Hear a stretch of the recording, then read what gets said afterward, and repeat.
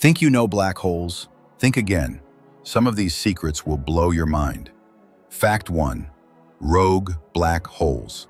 Did you know some black holes wander through space alone, not orbiting any star or galaxy? Imagine a cosmic loner drifting silently through the universe. Fact 2. Tiny and mysterious black holes. And not all black holes are massive. Scientists theorize there could be microscopic black holes formed in the early universe. Tiny, invisible, yet unimaginably powerful. Fact 3. They warp space and spin fast.